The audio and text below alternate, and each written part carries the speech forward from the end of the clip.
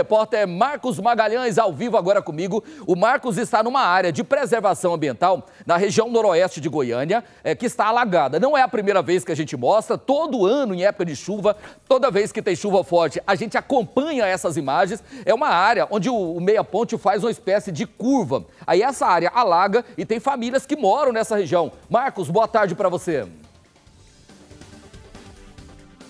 Ô Loras, boa tarde para você, boa tarde para todos que nos acompanham aqui pelo Balanço Geral. É um problema frequente que os moradores por aqui enfrentam. A gente acabou de chegar aqui na região e olha só, vamos mostrar aqui a situação das casas. A gente já não encontra morador aqui nesse momento, viu? Todo mundo precisou sair porque as casas foram completamente alagadas. A gente vê essa residência aqui, olha só, a gente vê cadeiras ali, é, alguns bancos, tudo está coberto de água ali. Tem muita água, tem alguns fogões ali, é, eletrodomésticos, a gente consegue enxergar daqui também. É um problema recorrente, é um problema que os moradores enfrentam quase que todo ano, mas é uma situação bem complicada. A gente vai andando por aqui também, olha só, detalhe que a gente encontrou aqui, olha só, alguns cãezinhos. Esse cachorrinho aqui, por exemplo, estava lá no meio da água, ele provavelmente ele precisou ficar aqui, os moradores saíram, não tiveram como levar, ele ficou por aqui, ele estava lá no meio da água. A gente vai mostrar aqui também para o lado de cá, que a gente consegue ter uma visão um pouquinho melhor da situação. Olha só como que a água tomou a, a região aqui, tomou as casas.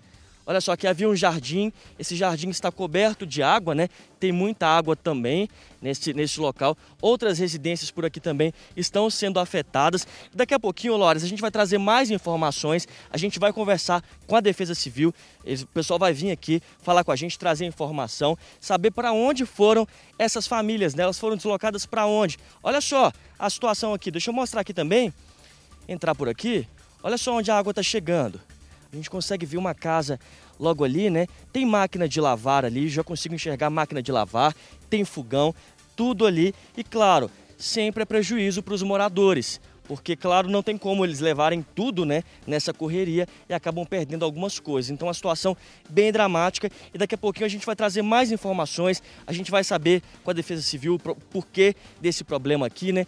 E claro, qual é a situação dessas famílias, para onde elas estão indo e qual é o respaldo que elas estão é, recebendo nesse momento bastante complicado aqui, Loares. Apesar do alagamento, Marcos, aí próximo onde você está, é, tinham famílias é, levantando construção de alvenaria aí, né?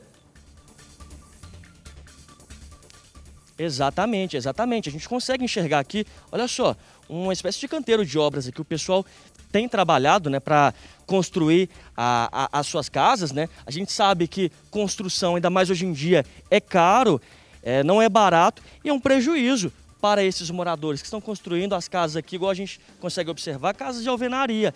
Então, acabam perdendo também, tem esse, esse mais esse prejuízo, viu?